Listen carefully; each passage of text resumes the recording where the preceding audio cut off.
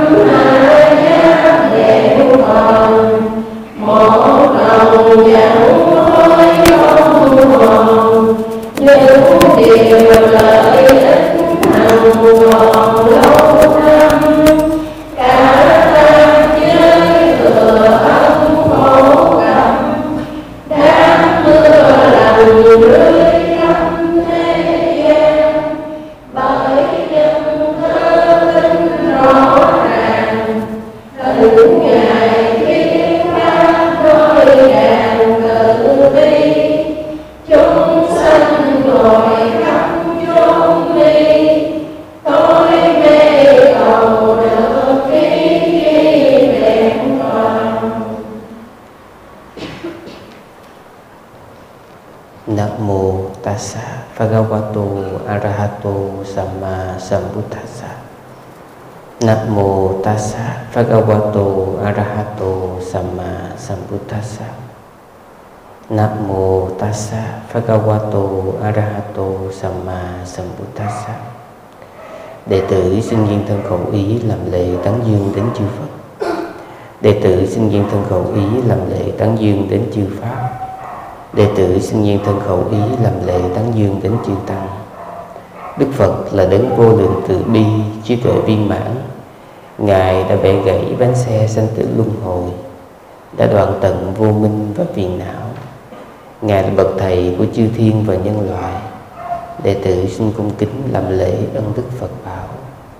Pháp bảo là những phương đương dược có công năng trị những chứng bệnh phiền não của chúng sanh. Người nào hành theo chánh giáo sẽ có kết quả lợi ích trong hiện tại và tương lai. Đệ tử xin cung kính làm lễ ân đức Pháp Bảo. Tăng Bảo là những người tự hành theo chánh giáo. Các ngài đã đắc quả thánh hay còn phàm. Các ngài là những bậc mô phạm của quần sanh là phước điền của chư thiên và nhân loại. Đệ tử xin cung kính làm lễ ân đức Tăng Bảo. Do nhờ oai lực tán dương Tam Bảo một cách vắn tắt xin gia hộ cho chư tôn đức tăng quý tu nữ cùng quý phật tử thân tâm thường an lạc nhất là phát sanh trí tuệ thực hành theo giáo pháp của đức thế tôn. Ngõ hầu sớm đoàn tận khổ ưu thành tựu thánh trí chứng đạo quả niết bàn đồng đẹp nhau cả thai.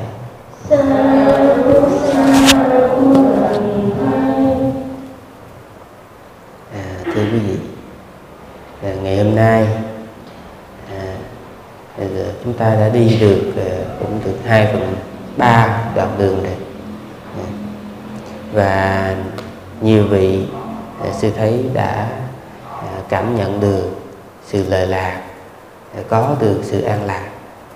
Và sư thấy có sự chuyển biến rất là tốt rất là rõ rệt à, trong số các cái thiền sinh. Và sư rất là hoan hỷ. À, quý vị thấy đó khi mà chúng ta có sự thực hành tinh tấn à, có sự hướng tâm một cách đúng đắn, thì chúng ta có thể vượt qua được những chướng ngại và đi đến à, sự an lạc. À, ngày hôm nay chúng ta sẽ thêm một cái công cụ nữa trong quá trình thực hành tứ niệm xứ nhờ như vậy đó mà khi chúng ta thực hành tứ niệm xứ chúng ta có đầy đủ các công cụ và chúng ta có thể quán tưởng một cách thoải mái và dễ dàng. À, như là cái à, câu chuyện à, tối ngày hôm qua à, về cái vấn đề là áp dụng à, tứ niệm xứ vào ở trong cuộc đời đó, đặc biệt là trong một số cái ngành nghề. Đó, thì quý vị thấy là có những cái vấn đề mà khi mình à, đi làm ở đời mình tập trung thì mình không thể nào mình theo dõi hơi thở được. À, mình cũng rất là khó để mà theo dõi từng cái chuyển động. À, à, rồi mình cũng rất là khó à, để mà mình à, quan sát các cảm thọ thì như vậy chúng ta còn cần thêm một công cụ nữa để bổ sung để hoàn thiện à, cho việc à, quan sát à, thân thọ tâm pháp. Đó chính là tâm quán niệm xứ. Ừ.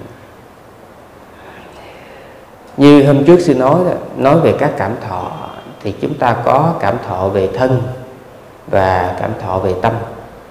Tuy nhiên ở trong phần thọ quán niệm xứ thì à, chỉ nhắc đến thân thôi. Bởi vì à, khi mà nhắc đến thọ về tâm thì chúng ta sẽ đi qua đến cái phần tâm quán niệm xứ. Có những việc à, mà chúng ta cần phải quán bằng tâm. Đó là gì? Chúng ta nhìn lại cái nội tâm của mình. Là mình đang tiếp xúc với cảnh, mình đang tiếp xúc bằng tâm gì? À, chúng ta xem nhìn lại tâm mình. À, đang là tâm tham hay là tâm sân. Hai cái thứ tâm mà chúng ta dễ nhìn thấy nhất dễ nhận biết nhất tiếp xúc thường xuyên nhất chính là à, tâm tham và tâm sân. Tham là khi mình có sự ưa thích đối với cảnh.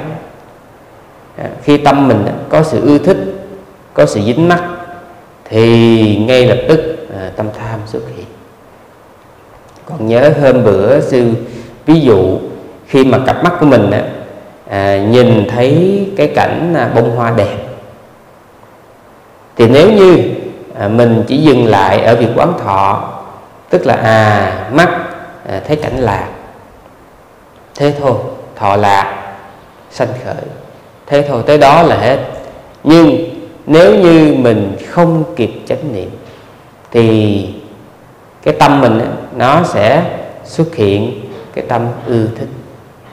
Và cái trách nhiệm của một vị hành giả tứ niệm xứ đó là gì? Đó là chúng ta ngay lập tức phát hiện à tâm tham đang có mặt. Khi tâm tham đang có mặt, chúng ta phát hiện ngay. Và chúng ta phát hiện, báo à tâm tham. Khi tâm tham đang có mặt, chúng ta làm gì?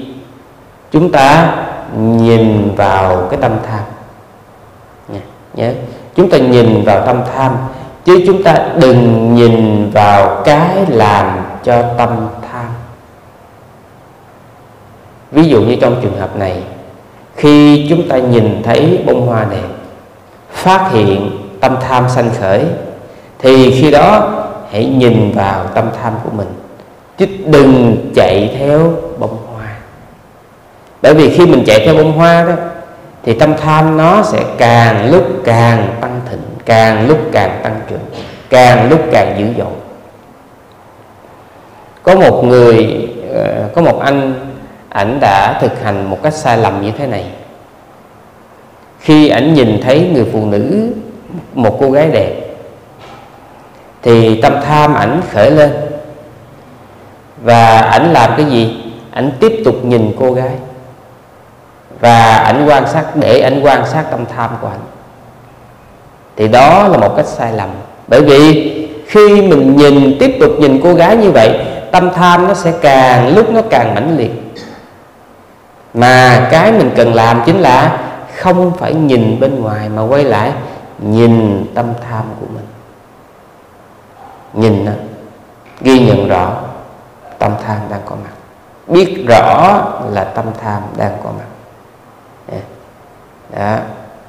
Và khi tâm tham nó có mặt như vậy mình không chạy ra cảnh bên ngoài mình cứ nhìn nó thôi ghi nhận rõ tâm tham đang có mặt. Và khi cái định cái niệm của mình á nó trở nên mạnh mẽ thì à, tâm tham sẽ biến mất. Khi chúng ta ăn cũng vậy. À, à khi mà đến cái phòng ăn trên con đường đến thì bụng à, chúng ta đói chúng ta mong muốn à, được ăn. Thì như vậy chúng ta phải phát hiện cái tâm tham á, nó đã len lỏi xuất hiện trong tâm rồi. Bởi vì khi đó mình có sự mong mỏi có sự mong muốn khi mà à, mình chuẩn bị được ăn. À, quan sát nó à, phát hiện rõ cái tâm tham chứ nói chi là đến lúc cái mùi đồ ăn nó sọc vào trong mũi của mình nói chi đến lúc mà mình nhìn thấy đồ ăn à, nói chi đến lúc mà mình cầm cái muỗng lên mình múc cơm lên mình ăn thì như vậy một loạt cái tâm tham nó xuất hiện mà mình không để ý à, hãy cẩn trọng với tâm của mình ừ. Ừ. rồi à, cái thứ hai cái loại tâm thứ hai dễ thấy nhất à, chính là tâm sân. Tâm sân à, là sự bất mãn sự lo lắng. Những cái cảm giác à, làm cho tâm nó khó chịu. Hai cái cách để chúng ta dễ phân biệt dễ nhận ra nhất của tâm tham và tâm sân là như thế này. Hãy để ý cảm thọ của tâm nha. Khi mà cái cảm thọ tâm của mình á nha, tâm mình tâm tham á, thì nó sẽ à, thọ hỷ hoặc là thọ xả. Tâm tham á, nó sẽ có thọ hỷ hoặc thọ xả. Còn tâm sân á, nó sẽ thọ ưu. Ví dụ khi mà mình à, đi ra ngoài vườn hoa mình nhìn thấy bông hoa cái tâm mình á nó đang thọ hỷ thì mình phát hiện à tâm tham. Hoặc là khi mà mình có những người mà họ tỉa hoa nè à, rồi họ tưới cây nè thì họ cảm thấy là cái tâm của họ đó nó bình lặng nó bình yên. Nhưng đó chính là tâm tham thọ xả. Nha. Cái người không chánh niệm á, họ không phát hiện được. Họ chỉ thấy là cái chuyện mà mình tưới cây là mình chăm sóc hoa nó đưa đến cái sự an lạc sự dễ chịu. Mình cứ nghĩ đó là cái gì đó nó, nó thánh thiện nhưng không. Nó là tâm tham thọ xả. Đó. rồi khi mà mình à, nhìn thấy một cái à, đống phân à, ở trong cái vườn hoa hoặc là ở trên cái đường đi thì ngay lập tức à, mình phát hiện cái gì? Cái tâm nè nó đang thọ ưu. Cái tâm nó đang khó chịu. Thì khi tâm khó chịu như thế tức là à, tâm sân. Cho nên một trong những cách để chúng ta dễ dàng nhận biết được là cái tâm gì nó đang diễn ra hãy quan sát cảm thọ của tâm. Tâm có tham. Biết à, là tâm có tham. Tâm có sân. Biết à, là tâm có sân. Ghi nhận rõ.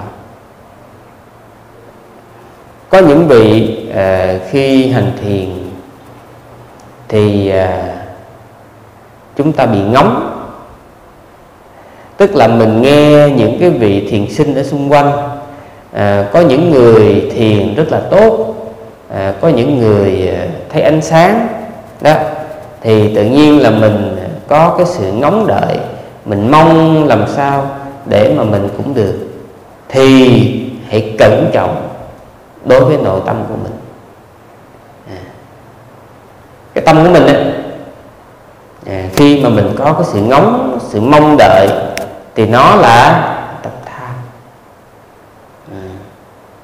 thì chính cái tâm tham đó làm cho quá trình thực hành của mình nó bị ô nhiễm thì làm sao mà mình đạt được mong muốn? Thì khi đó mình muốn mình càng muốn hành thiền mình càng muốn có ánh sáng thì mình lại không được. Tại vì à, cái tâm của mình nó đã ô nhiễm rồi. Rồi khi mà mình nỗ lực như vậy mà mình không được à, mình có sự bực bội có sự khó chịu. À, mặc dù có khi nó chỉ ở mức độ nhẹ thôi. Đó, tại sao mà tôi còn chưa thấy ánh sáng? Tại sao mà tôi còn chưa có định tâm? Tôi hành thiền mà tôi còn phóng tâm. Phóng vật nó cứ suy nghĩ lung ta linh ta linh tinh. Thì khi đó là tâm sân. Đấy. Cho nên khi chúng ta hành thiền hãy tránh hai cái thái độ này nha. Bằng cách nào? Chỉ đơn giản quan sát thôi. Chỉ đơn giản quan sát. À, quan sát từng hơi thở. Đừng có cái thái độ trong trông đợi một cái gì nó màu nhiệm hết. Mọi thứ nó sẽ đến một cách tự nhiên. Ừ. Mình chỉ cần có sự hướng tâm đúng đắn đến hơi thở thôi ừ quan sát hơi thở rồi sau đó à, chúng ta có thể quan sát từng cái cử động. Khi đi thiền khi ngồi thiền. Rồi bất kỳ một cái cảm thọ nào khởi lên thì mình quan sát. Bất kỳ một cái tâm nào đó, nó khởi lên thì mình quan sát. Ừ. Giống như à, một cái người à, họa sĩ khi mà họ vẽ thì họ tập trung vào cái cảnh trong đầu của họ đó. Họ bố cục, đây là cảnh lớn, đây là cảnh nhỏ, đây là từng chi tiết. Nhưng mà cái mà họ cần để ý chính là gì? Tâm tham có xuất hiện hay là không? Để ý cái tâm của mình, để ý cái tâm của mình. Khi tâm tham vừa sanh khởi, ngay lập tức nhận biết nó.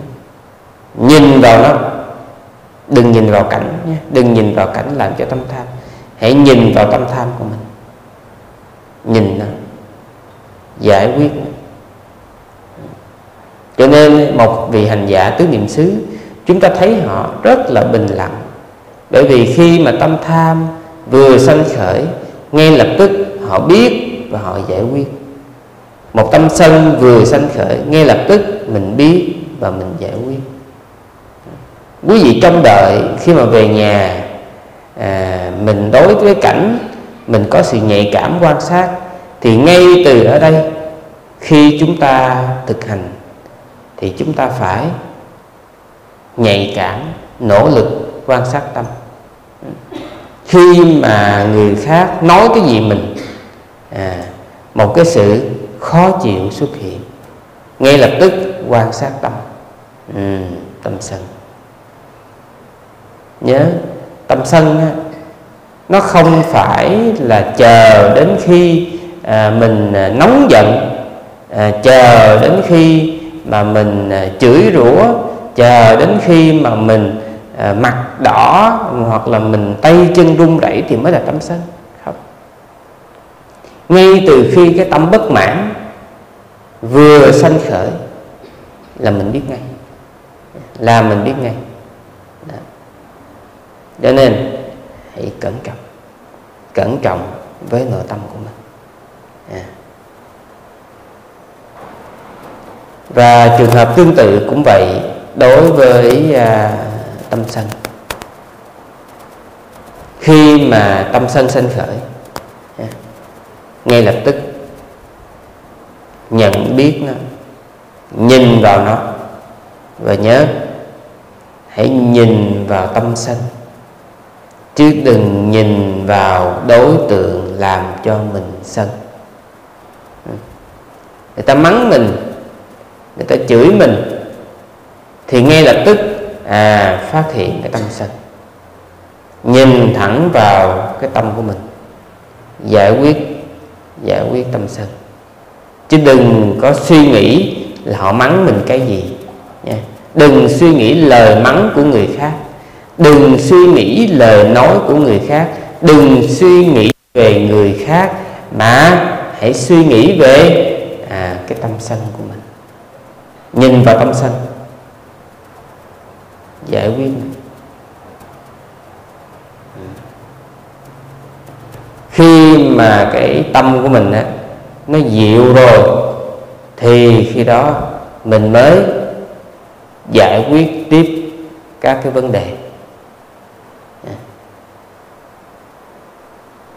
Nhớ. Khi mà mình giải quyết vấn đề à, mình vừa mới tiếp xúc với cảnh mà tâm sân nó sanh khởi trở lại thì lại tiếp tục giải quyết tâm sân. À, cho đến chừng nào mà mình tiếp xúc với cảnh mà tâm sân nó không khởi lên thì khi đó mới là đạt yêu cầu. Nó giống như một cái à, toa một cái đoàn tàu lửa à, gồm có những cái toa màu trắng và những toa màu đen. Nó chạy xen kẽ với nhau. Thì chúng ta nhìn á, à, thì có vẻ như là một cái à, toa mà à, trắng đen lẫn lộn nhưng không phải. Trắng toa trắng là đi đường toa trắng mà toa đen nó đi đường toa đen. Hai toa chẳng qua là nó xen kẽ nhau thôi. Cho nên ấy với những vị à, hành giả mà mới thực hành thì chúng ta có cảm giác là à, tâm tham mình biết là có tâm tham nhưng mà tâm tham nó không biến mất nó cứ tồn tại ở đó. Mình nhìn nó rồi nó nhìn mình rồi hai đứa nhìn nhau mà không đứa nào chịu lui bước thực tế là khi chúng ta chánh niệm tâm tham biến mất. Mà khi chúng ta thất niệm thì tâm tham có mặt. Hai cái anh ấy, tâm tham và chánh niệm nó liên tục xen kẽ với nhau. Và do tâm của chúng ta rất là nhanh cho nên là mình cứ nghĩ chánh niệm thì chánh niệm mà tham thì vẫn tham thực tế không phải do tâm mình nó quá nhanh thành ra là nó xen kẽ với nhau. Như là à, những cái toa tàu đen và những toa tàu trắng. Như vậy nhiệm vụ của chúng ta là gì? Là phát triển niệm và định làm cho chánh niệm được liên tục. Nhờ như vậy đó à, khi mà cái tâm tham vừa xuất hiện là mình ngay lập tức mình phát hiện ra ngay. Chứ không cần phải chờ đến khi mà nó trở nên dữ dội. Và khi mình phát hiện thì mình nhìn nó liên tục làm cho chánh niệm liên tục nó sẽ lấn át nó sẽ che lấn nó sẽ chen đi. Thì như vậy tâm tham nó sẽ biến mất. Ừ. thành ra hãy liên tục à, nhìn vào nội tâm của mình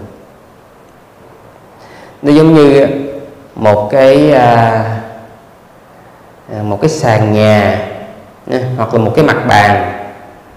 Mà nếu như mình lau sạch đó, mình lau sạch thì dù chỉ một chút xíu bụi trên mặt kiến một chút xíu bụi thì mình đều có thể nhìn thấy mình đều có thể nhận ra. Nhưng nếu như mà mình à, để cái bàn nó dơ quá à, không lau không dọn à, không gì hết, thì nó có một đống bụi thì cũng thế thôi. Dạ. Quý vị để ý những cái mặt bàn mà bẩn quá đó, bụi đầy ở trên đó, thì có thêm miếng bụi nữa cũng ai biết đâu. Nhưng khi một cái mặt bàn mà được lau chùi sạch sẽ, thì chỉ một cái sợi bụi nho nhỏ thôi, mình cũng phát hiện ra ngay cho nên khi chúng ta gìn giữ một cái nội tâm chánh niệm liên tục thường xuyên thì dù chỉ một chút xíu tham một chút xíu sân chúng ta đều phát hiện dễ dàng. À, còn khi mà chúng ta sống thất niệm à, chúng ta để cho tâm của chúng ta buông lung chạy theo ngũ dục thì có một đống tham một đống sân mình cũng ừ, cho nên có nhiều người tay thì vỗ bàn miệng thì nói tôi không có sân. À, à, có những người à, coi như là quơ gom hết gom hết cái gì mà có trong tầm tay là gom hết gom tiền gom bạc gom danh vọng địa vị gom hết mà nói tôi đâu có tham. Ừ. có những người họ coi cái chuyện mà tham giống như là mình chửi họ vậy đó. Khi mình nói anh tham thì họ nghĩ là giống như là mình chửi ờ, họ là cái thứ rác rưởi hoặc đại loại như thế thành ra là họ phản ứng rất là dữ dội nhưng mà như vậy họ không biết là họ vừa tham vừa sân mà vừa ngu ừ. nói si thì nhiều người họ thấy nhẹ quá, phải nói ngu cho nó mạnh hơn tí ừ. tại vì tâm của mình ô nhiễm mà mình không nhận thức được sự ô nhiễm. À, chính bởi vì như vậy à, ngài xá lợi phất gọi đó à, là những cái người hạ liệt. Do mình không ý thức được sự ô nhiễm của mình. Nhớ dùm. Chúng ta là phàm. Chúng ta là những người à, đang đi trên con đường chấm dứt khổ. Cho nên chúng ta vẫn còn ô nhiễm. Ai cũng có tham ai cũng có sân ai cũng có si. Nhé. Chỉ có à, vị thánh Anaham thì vị ấy mới đoạn tuyệt với à, tham dục và sân. À, chứ còn mình chưa thì nó vẫn còn. Nhưng mà mình khác những cái người ở bên ngoài ở chỗ nào? Đó là mình có sự quan sát. Ngài sẽ lại phất nói trong trung bộ, bài kinh vô ý nhiễm cái vấn đề không phải ở cái chỗ là nội tâm chúng ta có ô nhiễm hay là không. Mà vấn đề ở chỗ là chúng ta có phát hiện nội tâm mình có ô nhiễm hay là thế cho nên khi mà tâm có tham thì mình ghi nhận mình xác nhận biết là tâm có tham à. khi tâm không có tham mình nhận biết là tâm không có tham khi tâm có sân mình nhận biết à, là tâm có sân mà khi tâm không có sân, mình nhận biết là tâm không có sân. Tâm mình như thế nào thì mình nhận biết như thế đó. Thành ra, khi chúng ta thực hành tứ niệm xứ là khi chúng ta thực hành thành thật với chính mình.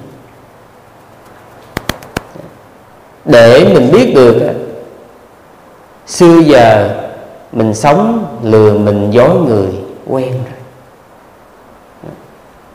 Mình có tham mà mình không biết là mình có tham. Mình không có tham, mình cũng không biết là mình không có tham. Mình có sân, mình không biết mình có sân. Mà mình không có sân, mình cũng không biết mình không có sân. Nội tâm của mình như thế nào, mình không có sự nhận thức. Thì bây giờ, khi chúng ta thực hành tứ niệm xứ là chúng ta tập thành thật với chính mình. Nội tâm của mình như thế nào, mình nhìn thẳng nó như thế nhưng mà nhớ, hãy nhìn vào nội tâm của mình, chứ đừng nhìn vào cái cảnh bên ngoài tác động đến nó. Một người làm cho mình sân thì phải nhìn vào cái sân, chứ đừng nhìn vào cái người nhé khi chúng ta ghi nhớ như vậy à, thì chúng ta được an lạc. Còn không thì à, nó mắng tôi nó mắng tôi nó bức tôi. Ai ôm tìm hận ấy hận thù không từ ngu.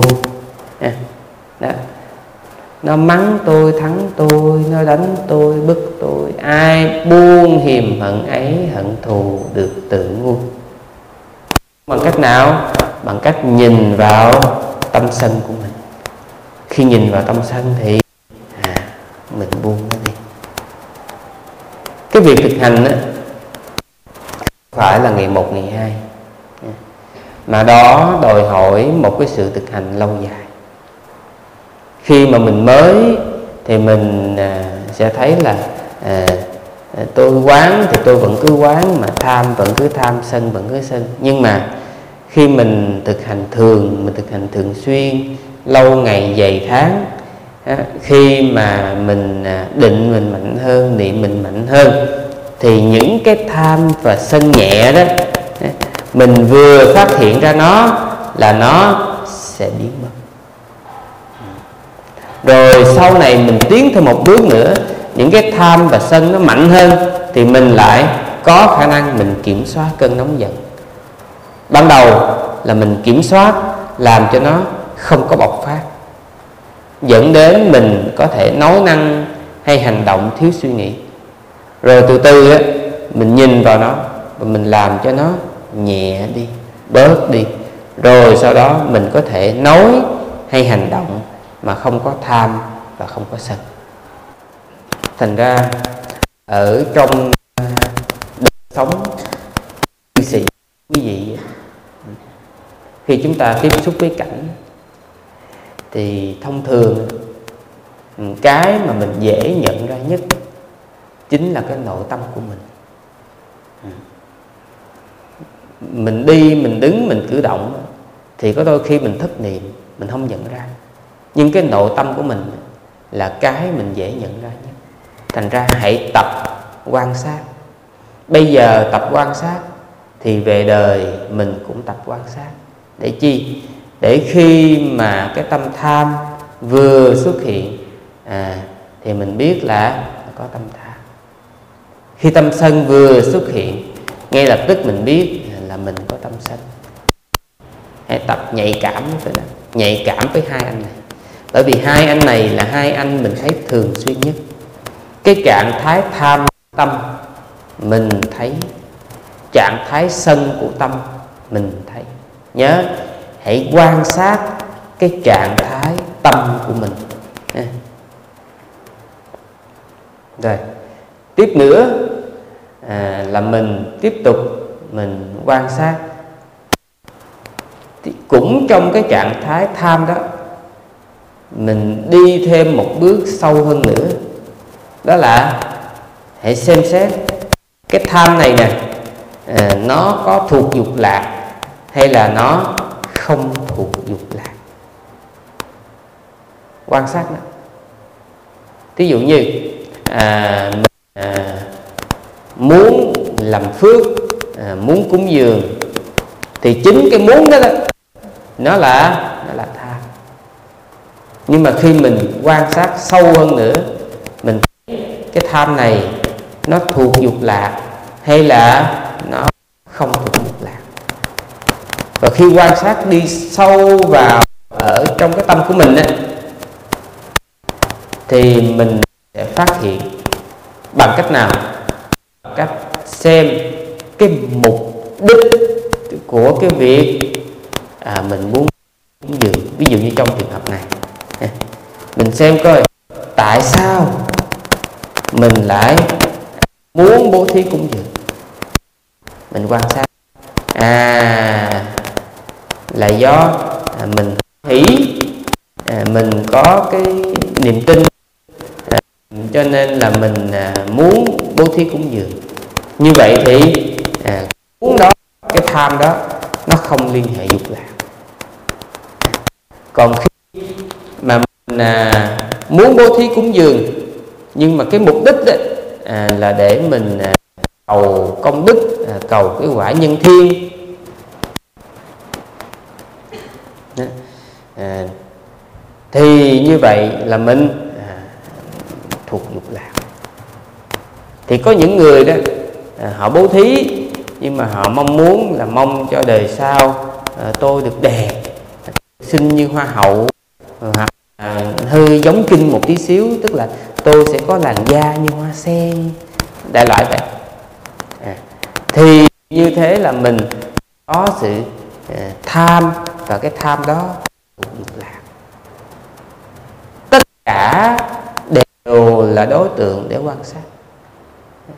Quý vị nhớ sư đâu có kêu là chúng ta phải à, đánh giá à, phải à, ghê tởm phải làm cái gì không có toàn bộ đều là đối tượng để quan sát.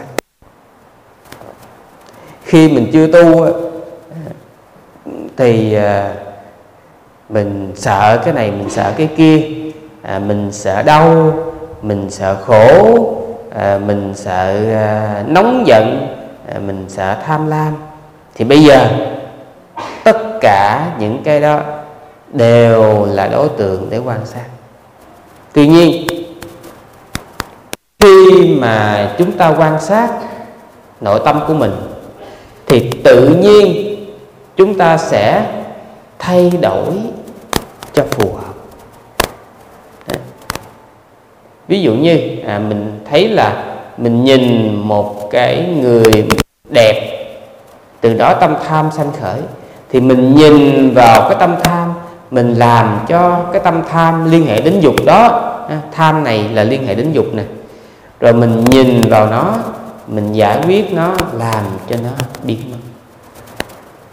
Thì tức là khi đó, chúng ta có sự nỗ lực làm cho các pháp bất thiện chưa có thì sẽ không có. Nếu có rồi thì à, sẽ đi đến sự tiêu diệt. À, mình có sự nỗ lực tinh tấn một cách đúng đắn. À, rồi gì nữa? Mình biết được đây là thiện. Ừ, đây là bất thiện. Đây là nên làm đây là không nên làm. Cái này là cái không nên làm cần phải được diệt trừ.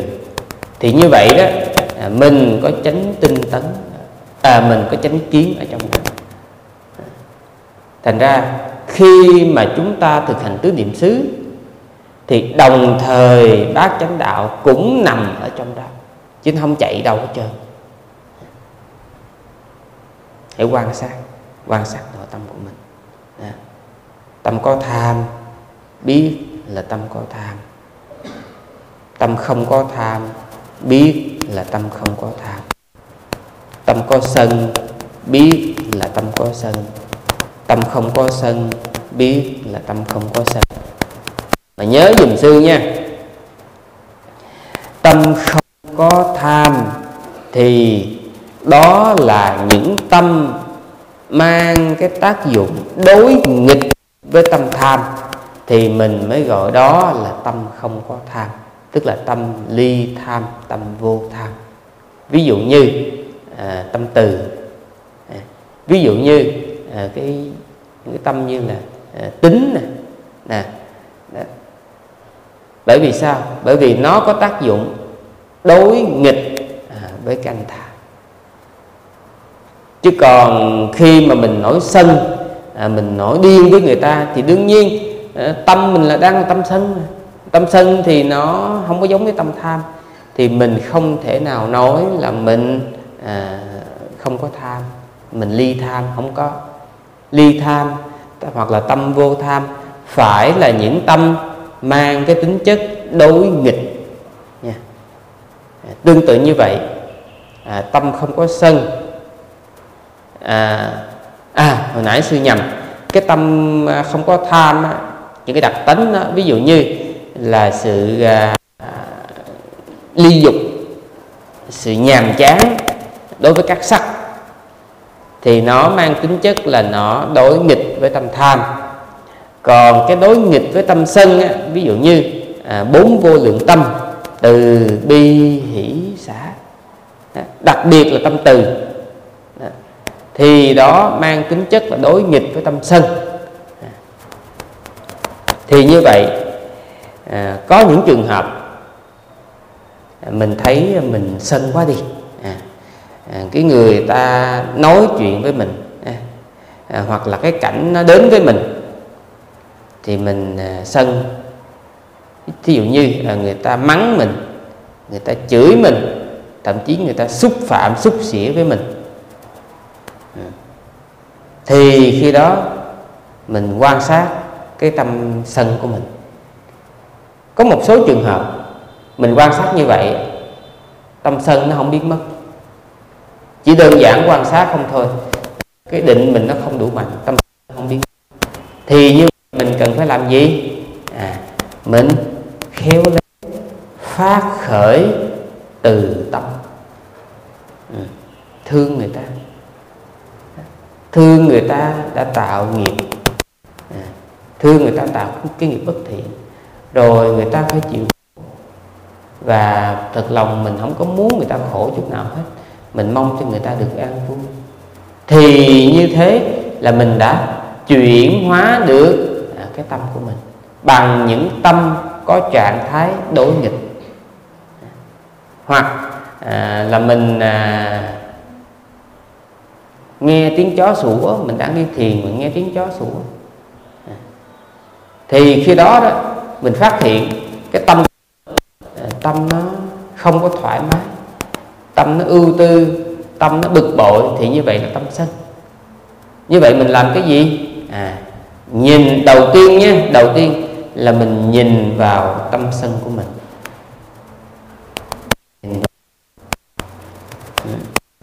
Như vậy nó sẽ lắng dịu nhưng nếu như thân của mình khi đó nó vẫn chưa lắng dịu thì mình sẽ à, làm tăng trưởng cái tâm đối nghịch. Ví dụ như à, phát khởi lòng từ thương à, con chó nó cũng là cái loài bạc xanh nó không được người à, thì cho nên là nó có bức bối của à, cho nên nó mới sủa. Thì thôi mong cho con chó nó được yên vui hoặc à, là mình à, phát khởi cái sự à, xả xả. À, thôi à, mình có nghiệp của mình mà nó có nghiệp của nó. Mỗi chúng sanh có nghiệp của mình. Thì khi mà mình à, phát khởi à, cái tâm xả như vậy đó thì mình cũng không còn tâm sân nữa. Cho nên hãy quan sát nội tâm của mình. Rồi từ đó đó mình có thể phát khởi những tâm mang trạng thái đối nghịch. Ừ. thì chúng ta rõ nhất là hai trạng thái à, tham và sân. Thì khi chúng ta tham thì chúng ta phải làm gì? À, thí dụ như nhìn thấy à, một người đẹp đi à, tâm tham nó sanh khởi. Bây giờ chúng ta cần làm gì? Tiên quan sát cái tâm tham của mình quan sát đó. thì khi chúng ta quan sát như vậy đó nếu như định và niệm chúng ta nó mạnh thì chúng ta có thể đè nén nó xuống hoặc là chúng ta đánh tan nó đi thì như vậy à, tâm tham nó sẽ nhẹ và nó có thể biến mất. À, nhưng nếu như à, định và niệm chúng ta yếu thì chúng ta còn có thể làm một cách nữa đó là chúng ta làm cho nó à, phát khởi những tâm đối nghịch. Thí dụ như mình à, suy tư à, các cái sắc là vô thường sắc đẹp này nó cũng là vô thường. Thì dần dần á, nó sẽ đi đến sự già nua. Nó đi đến sự tàn phai. Nó đi đến sự héo úa. Đó. rồi thì nó sẽ biến hoại và nó đi đến sự diệt vong. Đó. và mình nhìn mình sẽ không tìm thấy đâu cái hình ảnh mà nó đẹp à, như là mình vừa nhìn thấy thì như vậy chúng ta làm cho cái tâm của chúng ta nó nhàm chán nó kinh cảm nó ghê sợ đối với cảnh sắc. Như thế đó chúng ta sẽ thấy à thì ra. Cái đời sống này đó à, chúng ta làm tất cả mọi thứ hầu hết đều do sự tác động bởi thích và ghét tất cả mỗi mỗi một cử động đều có cái tham và cái sân nó len lỏi trong đó. À, và khi mình nhận thức ra được điều đó thì mình cải thiện đời sống của mình. Đó là lý do trong tăng chi đức thế tôn nói này các tỳ kheo thật là hiếm là những chúng sanh sau khi thân hoại mạng chung à, sanh về cõi người cõi trời. Mà thật là nhiều là những chúng sanh sau khi thân hoại mạng chung đi vào các ác thú như địa ngục ngạ quỷ súc sanh. Những cái ngày mà chúng ta sống ở đây nó rất là hiếm nó rất là quý quý luôn cho cả dòng luân hồi sanh tử. Chúng ta luân hồi bao nhiêu kiếp bao nhiêu năm rất hiếm chúng ta có những ngày này để chi vậy. Để chúng ta sống. À, chúng ta có chánh niệm. Chúng ta quan sát. Nội tâm có ô nhiễm. Ngay lập tức chúng ta phát hiện và chúng ta xử lý. Còn bình thường chúng ta không biết. Nội tâm có ô nhiễm hay không có ô nhiễm mình cũng không biết. Rồi mình cứ thả nổi thả trôi như thế và mình sống với đầy những tham và sân. Từ đó đưa đến những khổ cảnh. À, một vị à, thánh a la hán à, sau khi mà vị này chứng a la hán thì vị này có xác nhận như thế này. Là trong cái dòng luân hồi của vị này á, mặc dù vị này chứng thánh nha, mà trong dòng luân hồi của vị này, đa phần là vị này luân hồi ở các khổ cảnh. Rất là hiếm là những kiếp vị này luân hồi ở cõi người, cõi trời.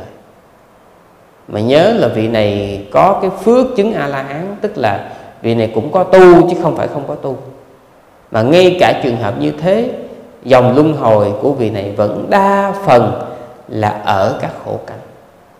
Cho nên, mình phải có lòng kinh sợ. Rồi từ đó, chúng ta nỗ lực quan sát nội tâm của mình, nỗ lực giữ gìn chánh niệm. Bởi vì sao? Ý dẫn đầu các pháp, ý làm chủ, ý tạo tác. Bất kể mình nói năng hay hành động cái ý nó đều dẫn đầu. Và thường nó rất là nhanh. Cho nên chúng ta phải để ý nó đi đứng nằm ngồi trong chánh niệm. Và nó như thế nào mình phát hiện ra như thế đó. Và có những vị à, ngày hôm nay chúng ta thực hành Ờ, tâm chúng ta tập trung ờ, rất là thoải mái ờ, rất là hoan hỷ bởi vì chúng ta hôm nay chúng ta đã thấy được ánh sáng. Nhưng mà sư nhắc nhở quý vị cái chuyện mà tâm mình có sự tập trung thì đó cũng là cái chúng ta cần phải ghi nhận. Ừ, tức là tâm của chúng ta có định thì chúng ta phải biết à, là tâm đang có định rồi có những vị à, tâm ngày hôm nay chúng ta bị tán loạn chúng ta không thể tập trung được.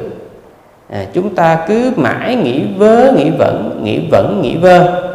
Mặc dù mình biết mình là không có nên nhưng mà mình vẫn không thể nào cưỡng được à, cái tâm của mình nó cứ liên tục nghĩ tới nghĩ lui.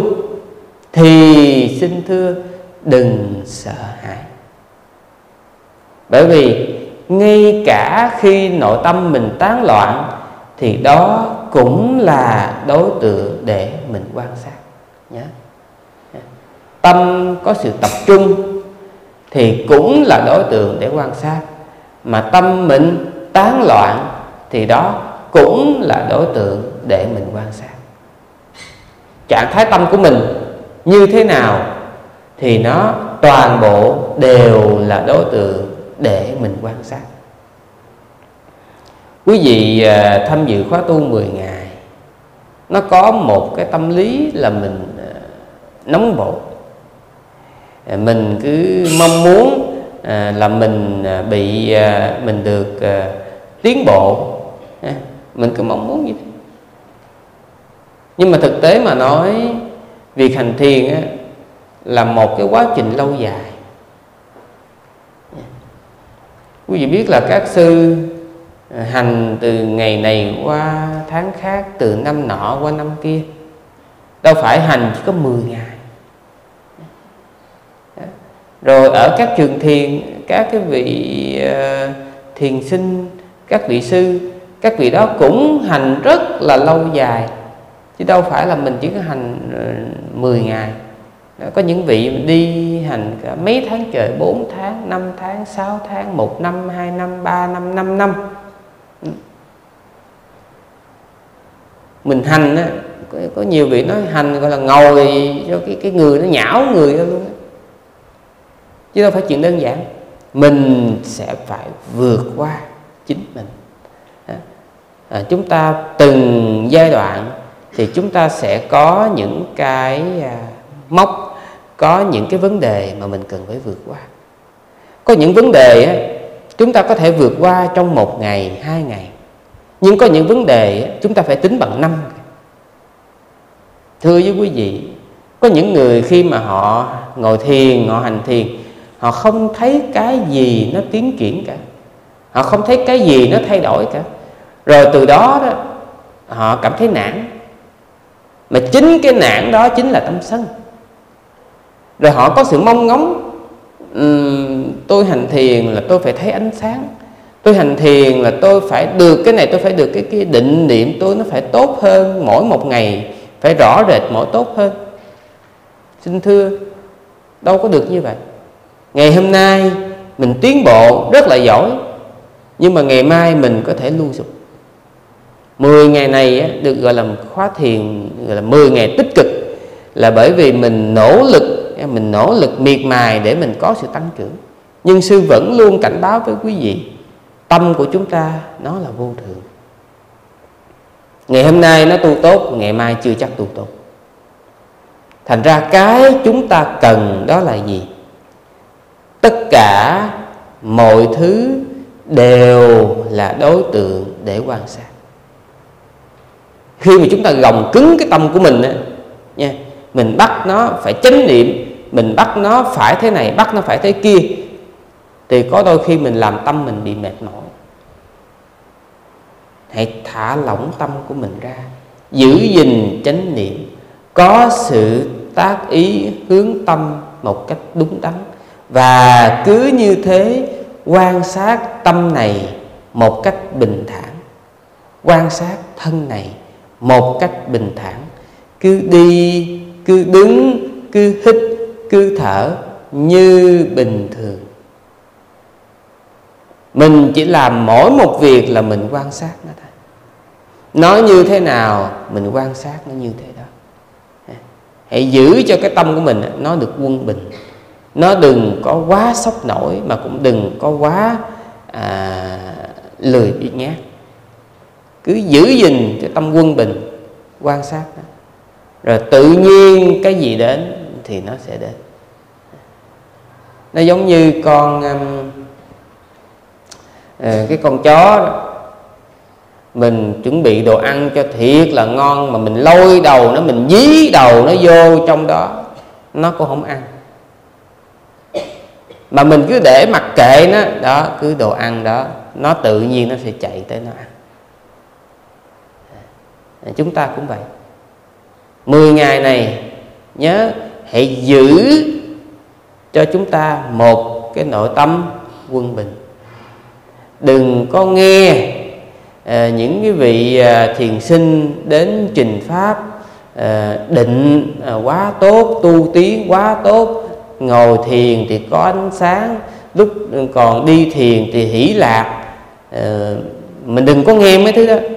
Tại vì cái đó là chuyện của người ta nha không dính dáng gì tới mình hết trơn chuyện của mình là mình nỗ lực mình hành theo cách của mình. Cứ bình thường thì tự nhiên nó sẽ tới. Còn á, mình mong mỏi thì nó là tham mà có hành hoài không thấy gì hết thì coi chừng nó là sân. À, tránh cái trạng thái tâm lý đó và đừng có ngóng cứ thực hành bình thường dùm sư. Có vấn đề gì à, thì cứ đến gặp sư. Sư hướng dẫn từng bước. Có một vài vị vẫn còn ngại à, ngại đến gặp sư. À, thì cái đó là cái thiệt thòi cho mình nha. À, à, thì ngày hôm nay à, sẽ cung cấp thêm cho quý vị à, cái quan tâm là mình có thêm một cái công cụ nữa để mình quan sát. À, mặc dù á, là tứ niệm xứ có nghĩa là bốn nơi để chúng ta thiết lập niệm bao gồm thân thọ tâm và pháp. À, tuy nhiên đối với hầu hết chúng ta thì chúng ta chỉ cần ba niệm xứ đầu là coi như đầy đủ là chúng ta đã đủ để thoải mái trong việc quan sát tất cả những thứ diễn ra đối với thân và tâm. Bởi vì cái pháp quán á, là dành cho người nhiều trí. Cái trí của họ mạnh bén nhạy để họ quan sát được nhiều thứ hơn. Nhưng mà thường thì chúng ta có ba anh này là đã đủ chúng ta xoay sở rồi. Nó giống như à, mình có ba món mặc dù mình nói là có dao nè có nĩa có muỗng có đũa nhưng mà có khi mình không cần cái con dao. Mình có ba món kia mình vẫn xoay sở được. Hoặc là những cái người phương tây họ đâu có họ đâu có đũa thì họ vẫn xoay sở được. À, cho nên à, cái pháp quán niệm xứ à, sư sẽ hướng dẫn nhưng cái sư muốn nói ở đây là chúng ta chỉ cần thân thọ và tâm là đủ để chúng ta giải quyết trong hầu hết tình huống. Từ khi chúng ta thực hành ở khóa tu lẫn cái việc chúng ta đi về đời, thì nó đủ để xài. Thành ra là chúng ta quan sát, nhớ dùm sư. Trong suốt quá trình hành thiền ngồi thiền đi thiền thì cái gì nổi bật nhất thì chúng ta quan sát cái đó. Ừ. Khi mà tâm tham nó nổi bật nhất thì chúng ta nhìn vào tâm tham giải quyết tâm tham. À, khi mà chúng ta đi đứng nằm ngồi từng cái cử động nó nổi bật nhất thì chúng ta quan sát cử động khi mà cảm thọ của thân ví dụ như à, đau chân đau lưng đau bụng à, các cảm thọ nó xuất hiện nó nổi bật thì hãy quan sát và nhớ. Hãy quan sát như là một người khách. Sư luôn luôn nói hãy tách nó ra và đừng bao giờ đánh đồng có một cái tôi một cái ta. Nó chỉ đơn giản ừ, là danh và sắc. Nó chỉ đơn giản là thân và tâm. Mấy cái thứ này nè cái thứ tổng hợp này nè à, nó đang hoạt động. Ta chỉ đơn giản ta quan sát cái đó thôi. Nó là một mớ lắp ráp ừ. nó đang hoạt động. Chỉ như thế. Ừ. và sư mong là quý vị sẽ à, có sự thực hành à, thuần thục và thoải mái à, sau khi nắm thêm một công cụ nữa là quan tâm trên tâm. À, bây giờ um, cái phần à, thời gian còn lại chúng ta còn 15 phút à, thì à, chắc có lẽ sẽ tranh thủ à, trả lời thêm những cái câu hỏi bởi vì sẽ thấy bây giờ câu hỏi nó, nó nhiều quá rồi. Ờ, mời ban tổ chức ờ, đưa cho sư cái ờ, danh sách những cái câu hỏi. Ừ. Đấy, ví dụ như bây giờ chúng ta nghe âm nhạc nó tiếp xúc thì chúng ta quan sát à cái thọ của cái lỗ tai mình nó đang là thọ gì đó. rồi mình quan sát cái tâm của mình nó là tâm gì? Chỉ nhìn đơn giản nhìn vào nó thôi. Ừ.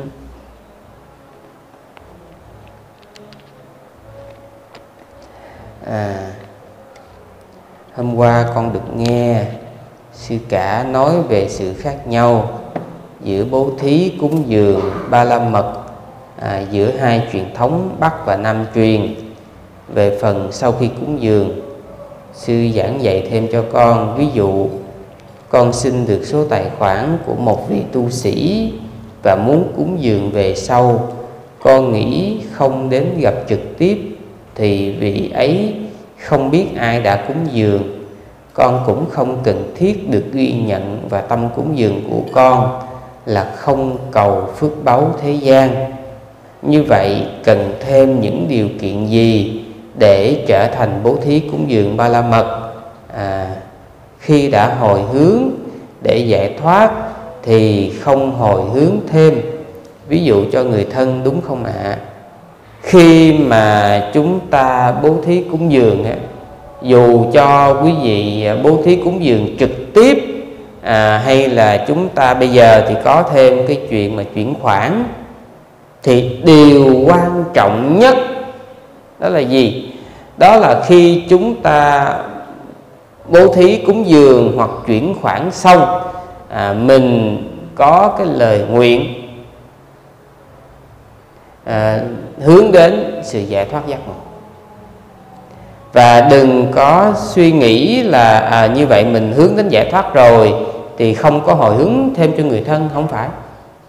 Quý vị có để ý là khi à, chúng ta à, cúng dường cha tăng nè đó hoặc những thứ đại loại như vậy chúng ta thường lúc nào cũng có câu là à, do sự phước báo mà chúng tôi đã trong sạch làm đây à, xin hồi hướng đến thân bằng quyến thuộc đã quá vãng rồi xin hồi hướng đến thân bằng quyến thuộc còn hiện tại vân vân. Và thêm một câu nữa à, đó là à, do sự phước báo mà chúng tôi đã trong sạch làm đây hãy là mối duyên lành để dứt khỏi những điều ô nhiễm ngủ ngầm nơi tâm trong ngày vị lai.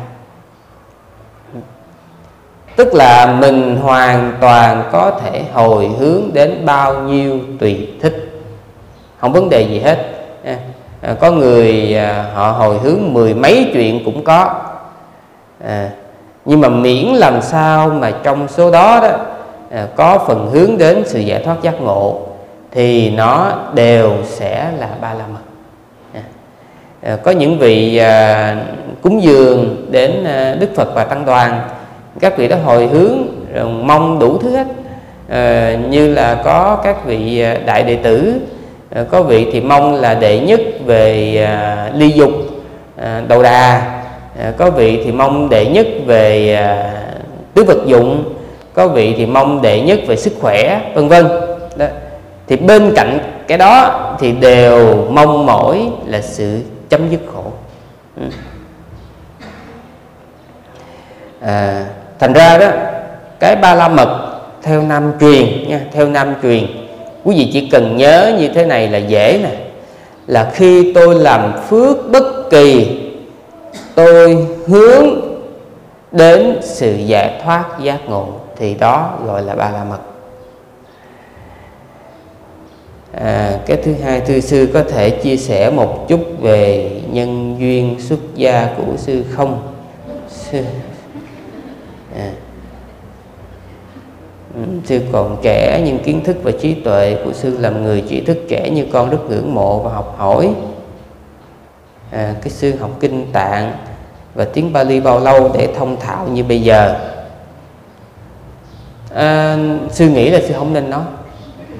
À, tại vì á, nếu mà sư nói sư học kinh trong bao lâu thì à, quý vị à, có thể sanh ra hai cái suy tư. Một là ổng học ngắn như vậy thì ổng có có chắc không? Có chắc là ổng nhớ hết không? Có chắc là ổng um, hiểu được nhiều như vậy không?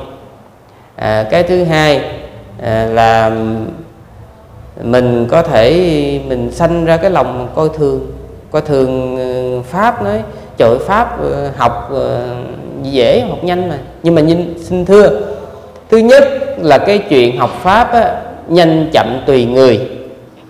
Có người có vị học à, vài tháng là xong. Có vị học cả năm mới xong mà có vị là học nhiều năm mới xong. Mà có vị học cả đời. Xin thưa là à, sư phụ của sư là ngài thiện hạnh ngài dạy các cái trường trung cấp cao đẳng đại học phật giáo việt nam không biết là bao nhiêu thế hệ tăng ni sinh học uh, trung cấp giảng sư cao cấp giảng sư rồi ra thậm chí là có những cái bằng cấp như là bằng thậm chí bằng tiến sĩ cũng có. Chất quốc à à kiến thức không xài được. Không nhớ gì hết. Học xong trả lại hết kiến thức cho thầy. Thì cầm cái bằng xong rồi nhưng mà cái quá trình học kiến thức để có cái bằng đó thì không còn nữa. Cái bằng thì còn mà kiến thức thì không còn. Cũng có nữa. Rồi cũng có những vị không lên cũng không có nói năng được cái gì không có dạy được cái gì hết. Lên chỉ kể chuyện đời thôi cũng có nữa. Cho nên á, cái vấn đề là mình học rồi mình có nhớ được hay không? Chứ còn cái thời gian để học á nó tùy mỗi người. Có người nhanh có người chậm. Có người nhớ lâu có người thì nhớ ngắn mình rất là khó nói. Ngay cả cái chuyện học ngôn ngữ cũng vậy. Phải nói sư rất ngưỡng mộ. Có nhiều vị á, mỗi năm một ngôn ngữ. Bây giờ họ thuộc mười mấy thứ tiếng. Họ nói ừ, học ngôn ngữ đâu có gì đâu khó. Mình mình nghe mình muốn nhục luôn á. À thì cái chuyện học Pali cũng thế à, có có vị thì học um, nhiều năm có vị học chừng vài tháng có vị học một năm. À, cho nên là tùy mỗi người đừng có lôi sư ra làm cái thước đo cho người khác nó kẹt lắm. Hồi xưa sư ghét nhất là so sánh sư với người khác à, sư tin quý vị cũng vậy ha. À, còn khi mà sư có cái à, đã xác định cái con đường xuất gia thì ờ, sư xác định như thế này.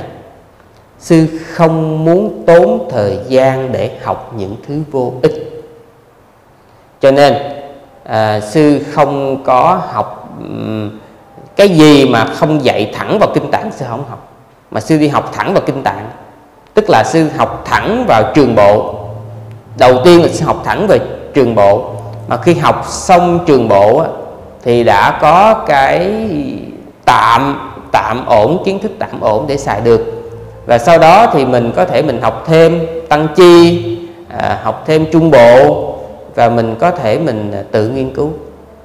Và để có khả năng tự nghiên cứu thì à, bắt buộc à, đầu tiên là mình phải học nè. Chuyện đương nhiên rồi. Rồi mình phải học Pali. À, cho nên là sư à, xin học à, Pali. Và Pali á, nó có hai hệ thống chính. Một là hệ thống giảng dạy theo truyền thống như là ở miếng. À, à hai là cái truyền thống giảng dạy hiện đại à, của phương tây. Nói như mình dễ hình dung á, là cái kiểu học tiếng anh phổ thông và cái kiểu học tiếng anh ở trung tâm ngoại ngữ. Cái kiểu học tiếng anh của phổ thông là cái kiểu đọc viết học ngữ pháp rồi sau đó ờ, làm bài tập rồi cứ như vậy đi lên. Và đương nhiên nó có ưu và có nhược. Cái nhược là hồi xưa sư học 12 năm phổ thông ra không có nói được câu tiếng Anh nào hết. Và sư tin là nhiều người cũng vào thời của sư cũng thế. Bây giờ thì có thể thay đổi. Nhưng mà thời của sư học 12 năm ra chất quốc à, à nhưng mà cái cái ngữ pháp thì mình phải công nhận là học ngữ pháp 12 năm thì cái ngữ pháp mình vững. À. còn cái à, nó kỳ là 12 năm học um, tiếng Anh ra nó, nó, nó không có nói được câu nào. Nhưng mà đi qua Anh văn học Việt Mỹ học một tuần xin thưa là một tuần là mình nói được tiếng Anh mình giao tiếp được với người nước ngoài. Một tuần và mình không thể nào nói là um, do anh văn hội việt mỹ họ dạy giỏi đương nhiên họ dạy giỏi nhưng cái vấn đề là mình có cái nền tảng trước đó rồi. Mình chỉ cần biết cách để mình vận dụng mình sử dụng thôi. Thì um, cái Pali nó cũng có các tương tự như thế tức là hai cái phương hai cách học. Một á, là cách học của phương Tây. À, thì cách học của phương Tây thì cái giáo trình của họ nó đối với sư thì nó dễ tiếp thu hơn nó đỡ ngán hơn. Và mình à, xài được liền xài được sớm. Còn học theo kiểu của miếng thì cái nền nó sẽ vững. Nhưng mà quý vị muốn để xài được thì phải tốn vài năm. À, thành ra là sư thì à, sư học theo cái kiểu à, Pali à, theo cái cái giáo trình À, của các cái vị Tây phương chứ không có dạy theo cái giáo trình của Miến Điện. Ừ. những cái nước ví dụ như Miến Điện. Đó. Rồi. Thì um, đó là sư nói sơ như vậy. À, thư sư người đã mất sau đó họ sẽ đi về đâu? À, trong cái gì, những ngày đã mất có phải họ sẽ trở về nhà và làm những việc khi còn sanh tiền đã làm không? Và sau bao lâu họ sẽ vãng sanh không ở nhà nữa thư sư? À, xin thưa chúng sanh sau khi chết thì à, họ tái sanh ngay lập tức theo nghiệp. Thông thường á, là họ sẽ tái sanh ở cảnh giới khác đa số là đi xuống địa ngục. Nếu như mà có phước sẽ báo trước nha có phước có tu mà còn luyến ái thì sẽ sanh làm một cái con gì đó ở trong nhà tương ứng với cái sự luyến ái. Nếu có tu nha thì mới được sanh làm là súc sanh trong nhà nếu còn luyến ái. Còn à, không có tu kém tu thì đa phần đi xuống địa ngục hoặc là ngạ quỷ rất là hiếm hoi sư nói phải nói là cực kỳ hiếm hoi những trường hợp mà làm cái loài ngạ quỷ á, mà được ở trong nhà ở ở gần cái chỗ mình vừa chết. Hiếm lắm. Đa phần là mình đi ở cái xứ khác. À, cho nên là không có cái chuyện là mình à, trong ngày mất mà mình được về nhà rồi làm những cái chuyện lúc mình sanh tiền thì không có. À, chỉ có một số trường hợp nha. Thì nó là hiếm ví dụ như là họ còn luyến tiếc một cái đồ vật gì đó thì một là họ sanh làm cái con trú ở trong đó hai là họ làm cái con ngạ quỷ mà họ giống như là họ họ giữ của thì tất cả đều là khổ. Ừ, và hỏi bao lâu để vãng sanh thì xin thưa là cái tuổi thọ của cái loài súc sanh nó còn ngắn, tuổi thọ loài ngạ quỷ, thì họ có thể ở từ thời Đức Phật mình cho đến khi mà trái đất diệt vong chưa chắc họ đã hết cái tuổi thọ loài ngạ quỷ. Họ sẽ phải chịu khổ lâu dài mà sau này mình gọi là cái hàng gọi là cô hồn, tức là à, người thân thì chết hết rồi mà họ thì vẫn cứ cụ bơ cụ bất. Cho nên cái vấn đề ở đây là khi người thân đã quá vãng điều chúng ta cần làm chính là làm phước và hồi hướng phước. Ví dụ một hồi nữa quý vị à, trai tăng đó quý vị làm phước thì mình làm phước hồi hướng phước. Chứ còn nếu không thì uh, người thân của mình ở cảnh khổ nào thì chịu chịu vậy thôi. Chỉ khi nào mình làm phước hồi hướng phước thì mới khá hơn ha. Đó. À, cho nên là đối với cái à, chúng sanh sau khi đã mất á, không không có khái niệm dỗ. Chỉ có mình mình người sống mình dỗ họ thôi chứ họ không có khái niệm dỗ. À, bởi vì họ luôn luôn phải sống trong cảnh đau khổ ngày nào cũng như ngày nào. À, rồi thì à, thời pháp hôm nay thì cũng vừa phải lẽ à, xin chia đều phần phước này đến à, tất cả chúng sanh à, mong cho tất cả chúng sanh được thọ hưởng tùy ý. Sau khi đã thọ hưởng rồi được thoát khỏi những điều thống khổ được kết quả làm người quả trời quả niết bàn. À, nguyện cầu tam bảo từ hàng đồ nguyện thoát ba tai nước lửa nguyện chúng sanh khỏi oan kết nguyện cho nhân loại sớm tu hành nguyện gìn tam học giới định tuệ nguyện đoạn tham sân si độc sanh. Nguyện giải căn nhân sanh tự khổ. Nguyện diệt tâm tham háo lợi danh. Nguyện tu tinh tấn không giải đãi. Nguyện sao đạo quả sớm viên thành. Nam mô bút thả giác. Nam mô tham ma giác. Nam mô sanh khai giác. Sa sa sa